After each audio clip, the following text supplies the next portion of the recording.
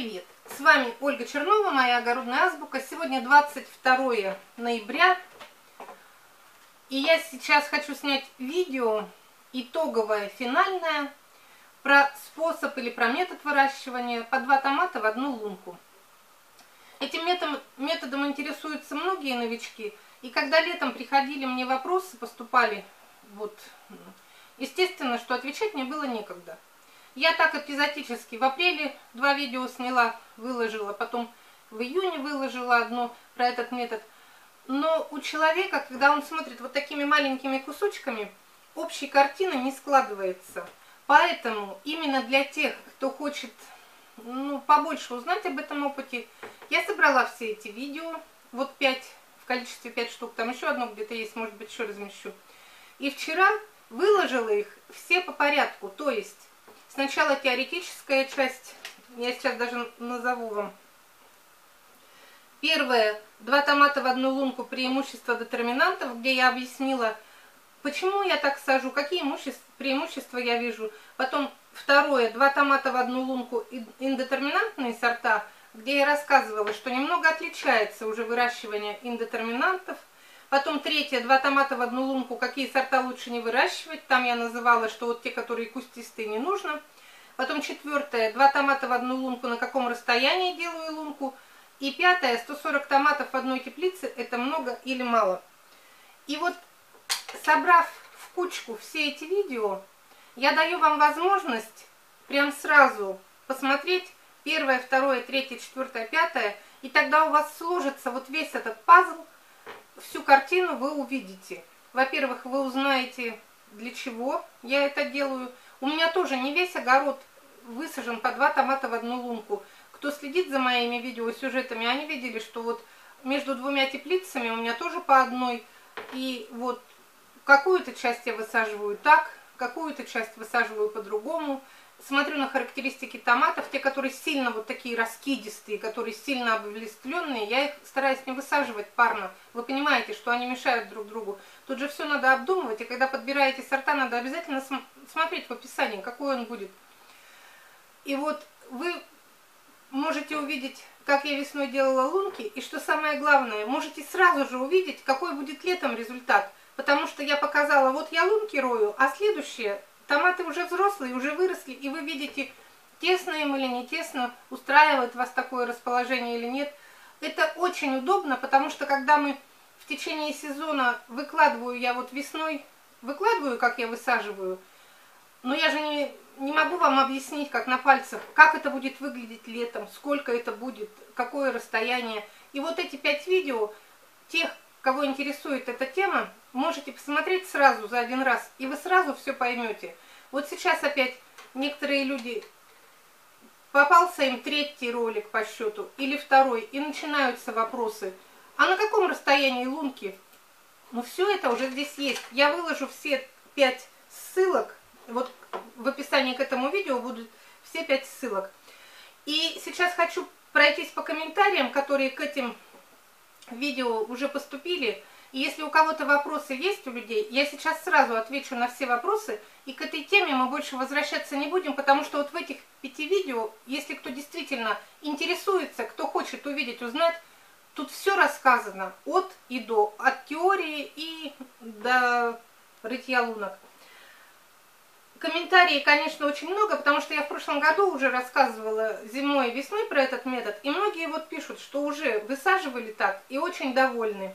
Но есть и те, у которых не получилось. Вот или Жанна, или Яна пишет, это бред какой-то. Я сделала в этом году так, и ничего не было выделено большими буквами. Без урожая, мало места, надо запрет наложить на ее советы в кавычках. Ну и тут уже ей отвечают, что значит вы что-то не так сделали. Но я ей написала ответ, что если с первого раза не получается, нужно пробовать еще раз. А может быть вообще отказаться от этого метода из, из этого именно складывается наш опыт. Один раз попробовал, второй раз попробовал, не получилось, значит это не ваше. Значит вы недостаточно уделили внимания этим посадкам. И я ей отвечаю, что запрет мне никто наложить не может. Я ведь рассказываю о своем личном опыте. Я никому не приказываю делать точно так же. Я всегда предлагаю, попробуйте, может быть вам понравится. я пишу, что запрет могу наложить только на ваши комментарии, но я вас прощаю, предполагаю, что вы еще неопытный огородник.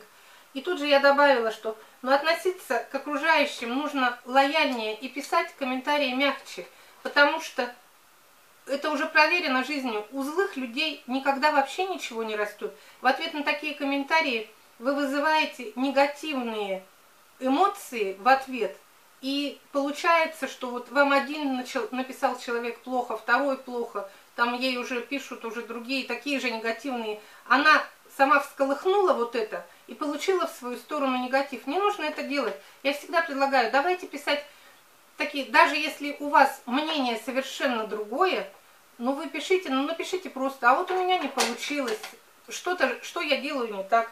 Но большинство людей, которые попробовали этот метод, у них все получилось. Вот пишет Татьяна Кытина, сажала по вашему способу, очень понравилось. Но сначала было страшно, когда кусты стали разрастаться, потом стала формировать, и все встало на свои места. Урожай был хороший, расстояние 60 сантиметров между растениями. Спасибо за, вот, за интересные советы.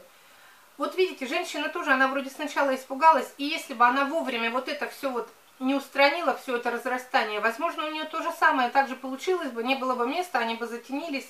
Так что это все в наших руках. И я еще раз говорю, что вот тут ей дали такой умный тоже совет, что если вы пробуете, то не высаживайте сразу все количество томатов вот по новому способу, который вы еще не освоили, который вы полностью еще не овладели им. Посадите, например, один ряд так, а второй или второй и третий своим традиционным способом. Так что вот это вот...